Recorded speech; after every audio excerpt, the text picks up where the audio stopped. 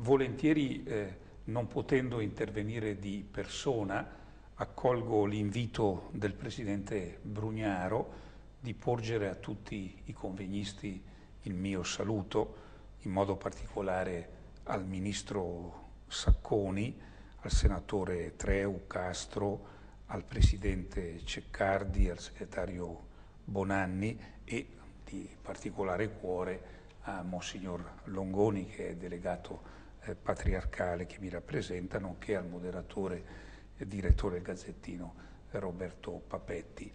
Eh, il tema è ehm, coraggioso perché eh, se è vero che si intravedono eh, i primi spiragli di luce dopo la crisi, è molto importante che si cerchi eh, di attuare ciò che in molti ci siamo detti eh, durante questo tempo di travaglio, che non si poteva non prendere l'occasione della crisi per una effettiva innovazione. No? E eh, questa innovazione non può non avere come cuore, come centro il lavoro, inteso in tutta la sua complessità eh, e eh, in tutti i fattori che mette in campo, a partire dal soggetto del lavoro, a partire dal valore eh, dell'impresa, dal valore del mercato, dal valore dell'equo profitto. Allora, come eh, tutti questi fattori possono essere ripensati dall'interno della crisi che comunque ancora morde soprattutto sul terreno occupazionale e come possono essere pensati dentro questa nostra realtà veneziana e più in generale del nord-est. Ovviamente io non sono in grado, non ho assolutamente la competenza per entrare eh, nelle questioni eh, della razionalizzazione eh, e eh, del ripensamento eh, delle strutture di impresa e dell'apporto che i diversi soggetti imprenditoriali che sono in campo, quelli statali, quelli privati e anche quelli del terzo settore debbono dare. Però ehm, sono convinto che mh, se eh, abbiamo riflettuto seriamente sulla crisi e vogliamo imparare qualcosa, eh, emerge subito un capitolo sul quale come uomo di Chiesa mi sento di parlare che è il discorso di quel che si chiama il capitale umano e il capitale sociale, ma che io preferisco chiamare il discorso del soggetto personale e comunitario del lavoro.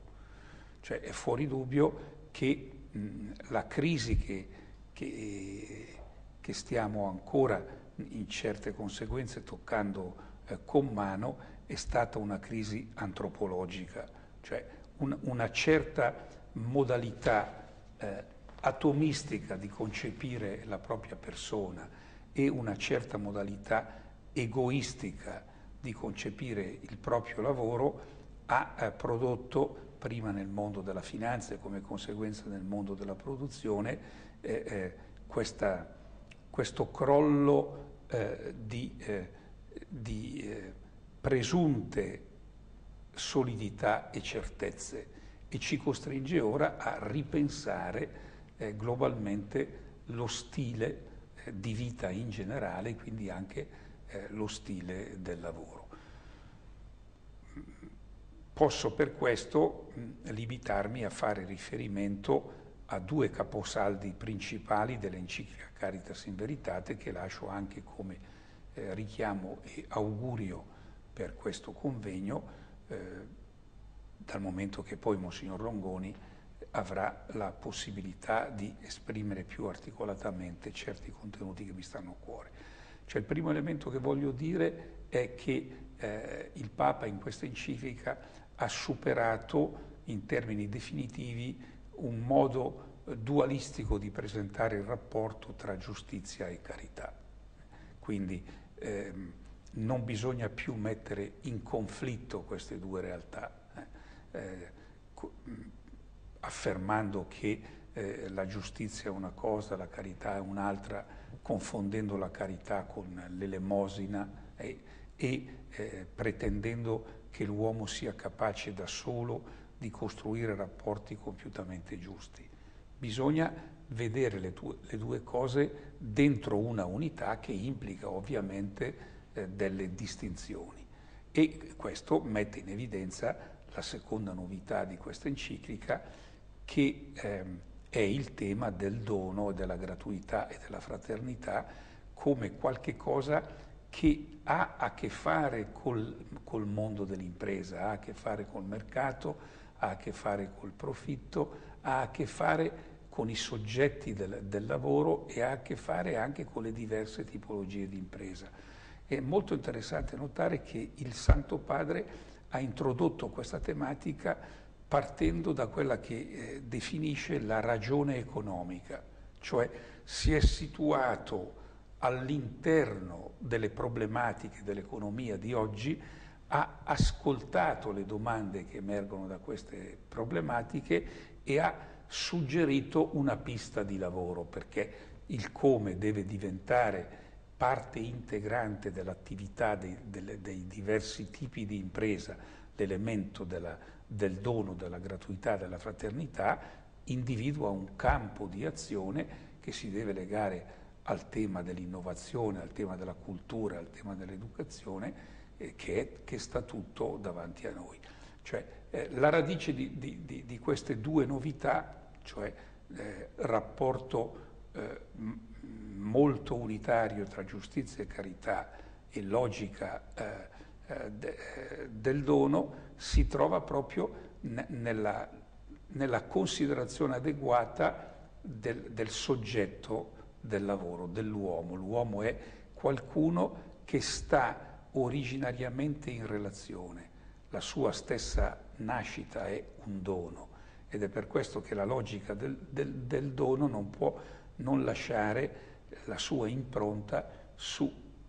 tutta la sfera affettiva, su tutta la sfera lavorativa che eh, caratterizza la vita dell'uomo. Ecco, io auguro che eh, la riflessione di oggi, che ovviamente dovrà avere una portata tecnica e specialistica, eh, accolga queste, questi spunti eh, di riflessione e più profondamente l'enciclica del Papa non come una pura cosmesi, eh, non come un, un, trucco da mettere su a, un, a, a un'impresa già autonomamente eh, costruita o come un vestito da mettersi addosso per un momento. Da questo punto di vista il Papa dice che spesso quando si parla di etica, eh, dell'economia etica della finanza, eh, si, si, strumentalizza questa categoria, se si tiene conto fino in fondo di questa visione e non la si tratta come pura cosmesi, io credo che eh, i, i, i, tre vocaboli che oggi la società civile deve imparare a coniugare, cioè innovazione, cultura ed educazione, potranno essere un punto di riferimento anche per la ripresa del lavoro che ci auguriamo sia rapida dopo questa crisi così che le sofferenze eh, che vediamo anche qui nella nostra zona, penso a Marghera, penso a, a tante altre forme di industria, penso a, a, alle, agli uomini e alle donne che stanno ancora perdendo lavoro, penso al precariato dei giovani, cioè che tutto questo possa trovare un avvio di soluzione. Grazie.